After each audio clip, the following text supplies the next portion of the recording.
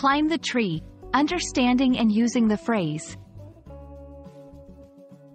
Hello, everyone. Today, we're going to dive into a commonly used English phrase, climb the tree.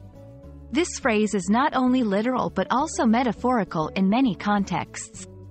Understanding how and when to use it will definitely enhance your English skills. Let's explore this together. Climb the tree literally means to ascend or go up a tree, usually using your hands and feet. This action is often associated with children playing or someone picking fruit.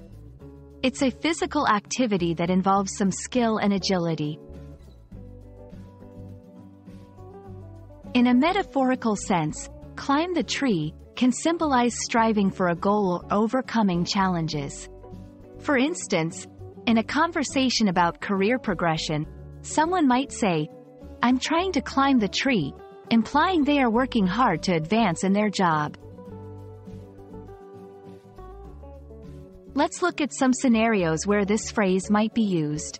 In playgrounds, the kids love to climb the tree in the backyard. In storytelling, the brave hero climbed the tree to save the cat.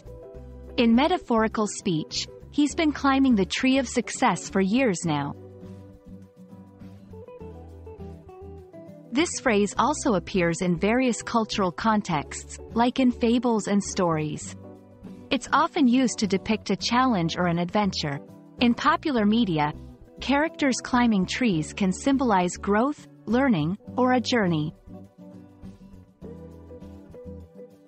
I hope this video helps you understand and use the phrase, climb the tree, effectively in both its literal and metaphorical senses.